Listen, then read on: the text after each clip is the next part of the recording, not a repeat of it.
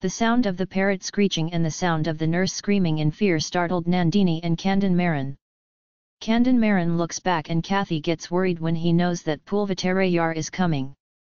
A thought arose that he might have overheard what he had said a little while ago, I don't like Puruvatare either. An even more terrifying thought, the thought that he might misjudge Nandini and himself, terrified him. Isn't the trend of those who get married at a young age unique? Why should he be so angry? I don't know what he is going to do. You have to be ready for anything. So many thoughts flooded Kandan Maran's mind in a split second. But he got a chance to witness a great miracle that day. Contrary to what he thought, the miracle happened. Nandini blushed and looked at him with her black eyes as he approached Palyavatarayar, Natha. I saw that it would be a long day before you come back. Fortunately, you have come. She said. When he saw her face and heard that voice, all the anger of Palyavatare flew away. He melted like wax in the heat. He laughed a strange laugh and said, Yes, the past is over, I am back. Then he looked at Kandan Maran and asked, What is this child doing here? Did he come up with some romantic poem and give it? After hearing that, he laughed at his sarcasm. Kandan Maran's face turned red.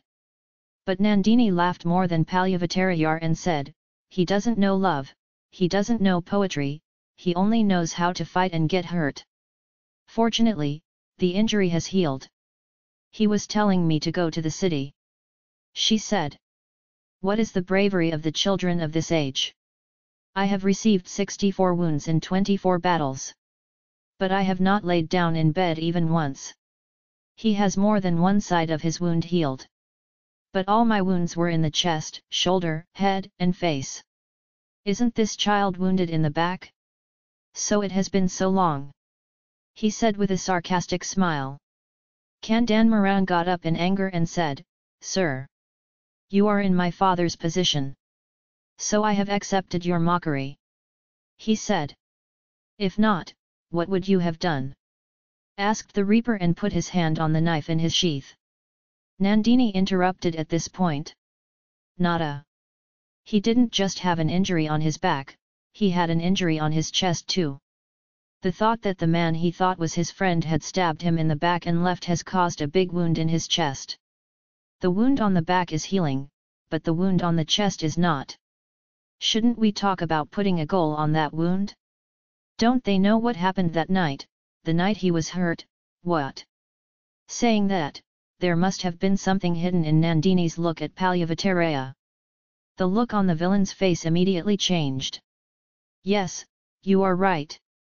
Poor, he is an ignorant child. This father is my spiritual friend. I should not care if he said something ignorant. Let it lie. Nandini. I have come now to tell you an important thing. It should be known to him as well. Suspecting a person in Sri Lanka to be one. They have caught him. He has a leaf with Prince Arulmozhivarman.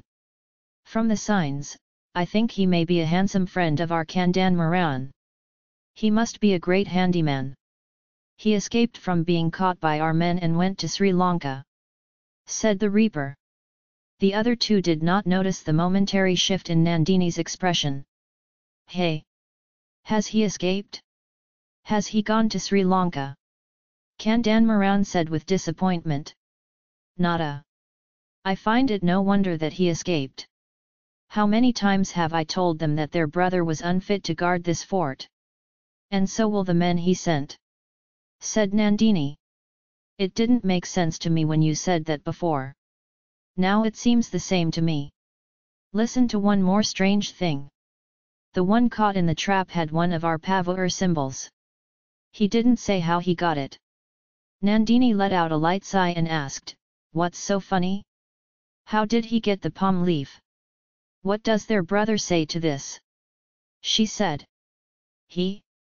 You'll laugh if you hear him say it. The old man wants that palm leaf to have gone to him from you. After saying that, Pulvatarayar laughed out loud. Lata Mandapam itself seemed to shake with that laughter. All the trees of the palace were trembling. Nandini laughed along with him and said, there is my brother-in-law, there is no one in this world of 7014 who has equal intelligence. She said. Do you know what your brother-in-law is saying? It's funny. I'm laughing to think about it. When you were arriving at the gates of the Tanjore fort, that Indrajito met you and talked to you. Then that Mayavi came into this palace too. So you must have given him the Palyavur letter. If not, you have someone else. The magician comes often, must have gone through him. He makes up all these things to cover up his stupidity. Saying that, Pulvatarayar smiled ha ha ha ha again showing all his long teeth. I was very wrong to doubt my brother-in-law's intelligence. His intellect is full of fire. No doubt. But to think that you have been idle listening to all this. Said Nandini. Her expression changed again, and there was now a burst of anger in it. A spark flew in the eye. Valiant warrior and the brave bearer of many blows on the battlefield, the great Pluvatarayar was unable to bear Nandini's petty anger and stumbled. There was a sudden relaxation in his appearance and speech. Goddess! Do you think I was just listening to all that? I made him cry by talking so harshly about his misbehavior. If you had seen him, you would have felt sorry for him. Said. Kandan Maran Patu who was listening to all this became embarrassed. He felt a little fear of Nandini and pity and contempt for Palyavatare. He wanted to get away from there without getting involved in the matrimonial affairs of these conspirators. He cleared his throat and said, Sir. Nandini interrupted, we forgot about my brother-in-law Samartiya.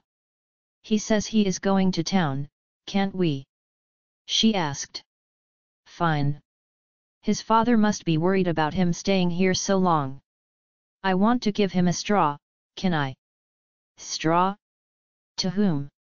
to the prince in Kanji. Palyavattarayar looked at Nandini and Kandan Maran suspiciously and asked, A letter to the prince? Are you writing? Why? He asked. He has written a letter to Ilay Aprati Tambai and sent it to Senakitar. Why not write a letter to Ila Irani Anand of Pavur? Why not write it and send it to him? Said Nandini. Is the paper that this friend brought with him written by the younger Brady Kundave? How did you know that? asked the reaper. Then why does the sorcerer come to me so often? He knew through his magic. My brother-in-law's people know the symbol. Those who found him to have the palm tree symbol of Palvur and brought it to him did not say that it was sent by Olai Kundava, look. Our men did not tell us about Lachana, Anbal Brahmaraya Rameswaram has gone and returned. The news he brought. Did that Brahmin tell you about the Kundave Devi's leaf? No. Nada. Think of what I warned you. Did I not say that so many people in this kingdom are conspiring to deceive you? Do you now see that this is true? I did not believe only what the magician said. I also brought the doctor's son, who had been brought captive from Kadakare, and questioned him. He also confirmed it. The youngest brat said he had sent the straw to his brother. Said Nandini. It was as if the scavengers were blindfolded and left in the forest.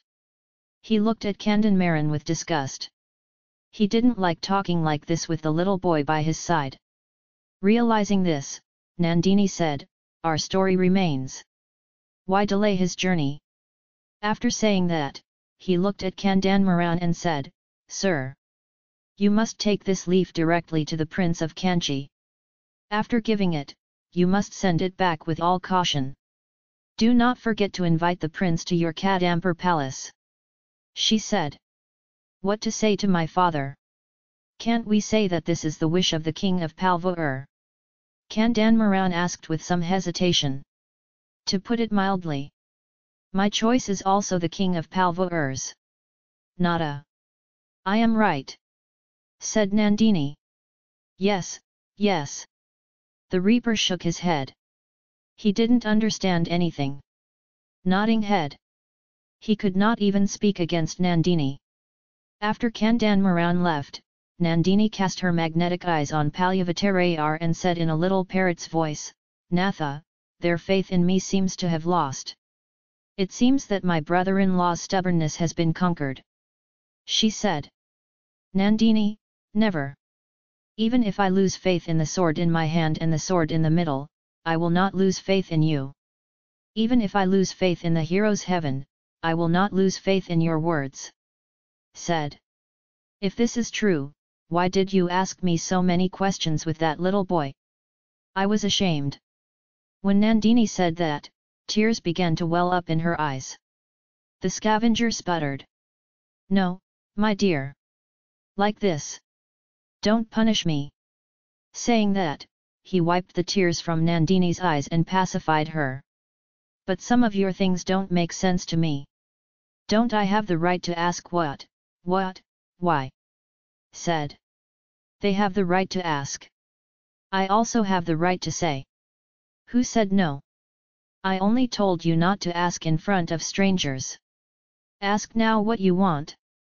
She said. Why are you sending a straw to Adithakari Kalan? Why are you asking him to be invited to the Kadampur mansion? Isn't he the first enemy to the realization of our idea? Said the Reaper. No, no. Adithakari Kalan is not our first enemy. That old snake woman is our first enemy.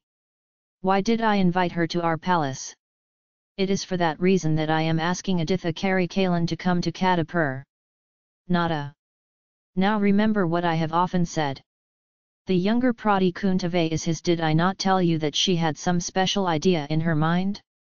Now I have found out what it is.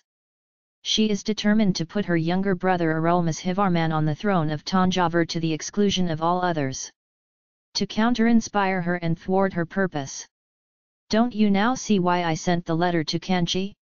Nandini asked and the sight of the poor man penetrated his heart. Even if you don't know anything, yes it seems. The young warrior muttered. Natha. This Chola Empire has spread so much today because of the great heroic deeds done by them and their ancestors. The eyes of this sinner will not sleep day or night until they see themselves mounted on the golden throne of Tanjapuri for one day. If in the meantime they suspect me in any way, they will wear me. Cut him to death in one fell swoop, said Nandini. My dear! Do not torture me with such harsh language! said the great reaper.